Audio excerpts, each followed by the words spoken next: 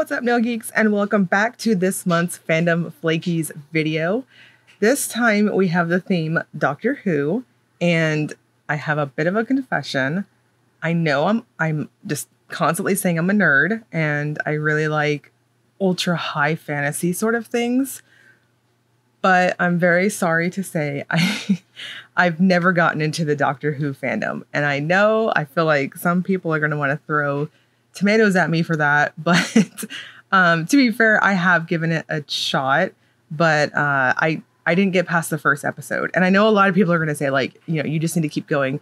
It is on the back burner, 100%. I I I don't deny the power that is this fandom because it is so popular that there's got to be something to it. So Anyways, regardless, we have two beautiful polishes to check out. We've got some fun, smelly goods from Ribbit's and Stickits you can add onto your box, and we're going to check out the swatches.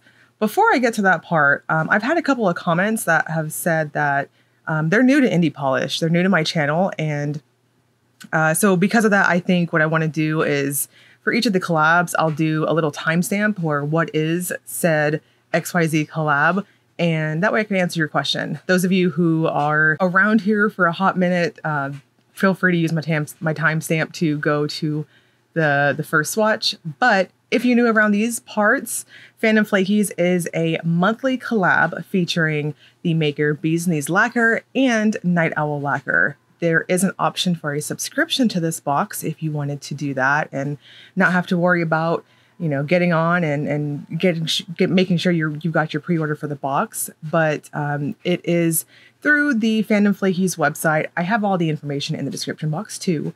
But every month, Sarah and Lindsay of Night Owl and BKL come together and they bring us all types of fandoms. We get two polishes, and then Ribbit's and Stickits is kind of our uh, inadvertent third maker, if you will, and they make all kinds of extra customized stuff. So the box itself includes the two full-size polishes, and you can fuller, further customize it with, say, water slide decal sheets, cuticle creams, um, there's car fresheners, all kinds of stuff. And it's always themed with whatever the two polishes are. It used to be we had a third maker, but this year we've kind of shift directions a little bit, and so it's just going to be the two polishes that are in the box itself.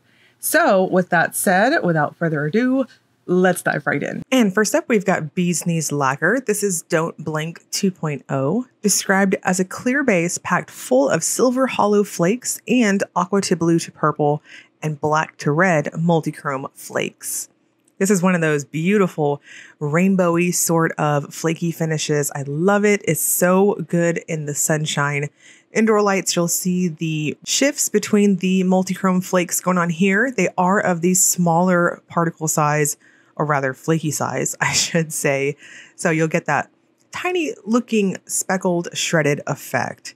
I'm going to suggest three light to normal coats to build this one up to nice plump opacity and a good glossy top coat. I didn't have any issues in terms of texture or thirstiness. This is pretty flat and semi gloss, if you will, in how it dries down. So no issues there. And Night Owl brings us Brilliant. This is a black tinted base filled with a rainbow of vibrant multichrome color shifting flakes, black metallic flakes, and hollow micro flakes.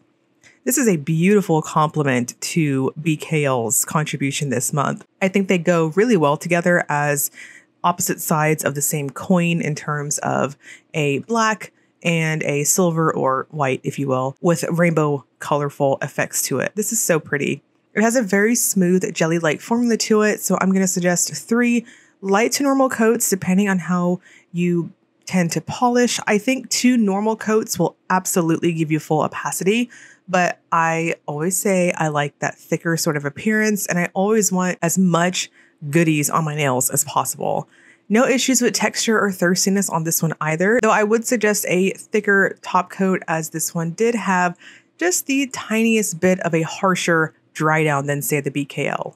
And part of some of Ribbit's and Stickits extra goodies for this month, we've got two sheets of water slide decals. You can grab these for 10 and adding onto your box.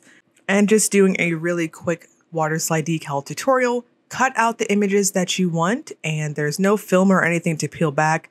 Stick it directly in the water. I soak it in there for maybe 20 seconds.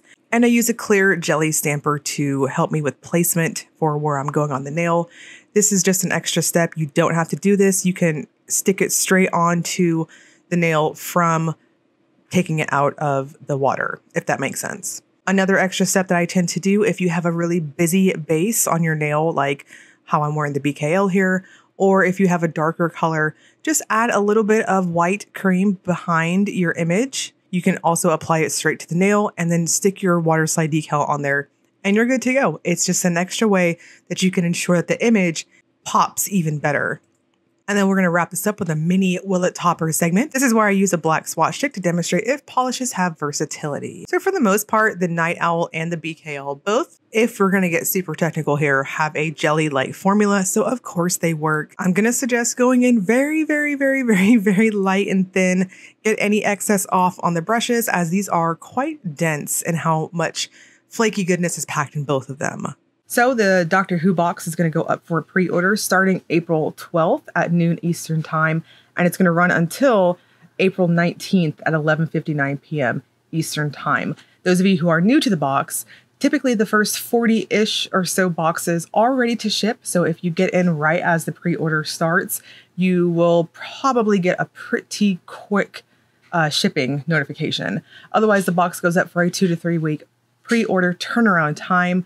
Um, so regardless, they're outside of the the ready to ship boxes. There's really not a reason to super rush unless you were very impatient. But uh, bring going back to what I was saying in the beginning, Ribbit's and Stickits is our third maker for the box. These are not included in the box per se. If you did a subscription uh, for the box itself, you do have the option of doing the extra add-ons too. So just wanted to throw that out there. It's very customizable. This month, Ribbit's and Stickits is bringing us, we've got the water slide decals that we just went over. We've got hand and cuticle cream and we've got acetone additive. We've got a car freshener and we've got perfume oil. So uh, I'm to have behind me as I'm sniffing this, how you get the perfume oil to, uh, to, to work, for lack of better words. This one's going to go in my vehicle. Um, this is the, the zoomed out shot here for, you know, size reference, all that stuff. Um, it's really simple to use. You just open it up, you remove the seal, and it's almost like a reed sort of thing where the the oil, when you tip it upside down, you only want to do it for maybe five seconds.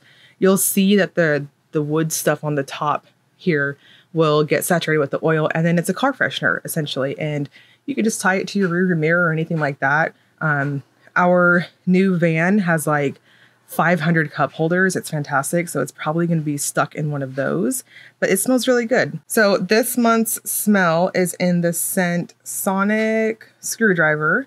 And to me, it's almost like um, an orangey cream, like a soft, sweet orange almost creamy sort of scent. I'm probably very wrong again. If you're new around here, every month I have started blind sniffing the scents for ribbit's and stickits on the Fandom Flakies boxes, and I'm always so incredibly wrong. My nose is something else. But to me, I'm I'm usually getting sweeter sort of scents. But this is definitely it has a citrus note, and then there's a touch of something kind of almost vanilla, kind of uh, toning it out, if you will. So let me read the official description here for the smell. Official scent is, I was correct, a blend of fresh squeezed orange juice, cranberry juice, and peach schnapps. So I'm thinking that peach is probably what's rounding out. First and foremost, it is definitely a citrus note at the top note. So very pleasant, very nice. And this is what the car freshener looks like. So you can add these onto your box if you wanted to. I will link you guys below to Fandom Flaky's website if you want to check that out ahead of time and take a look at maybe the subscription service, anything like that. And I'll also link you to the Facebook group where the first of the month you'll see the banner change. So you'll get your little first sneak peek as to what the next month's fandom is and uh, swatches, all that good stuff. And as always, if you enjoyed the video, please like and subscribe. Thank you so much for watching.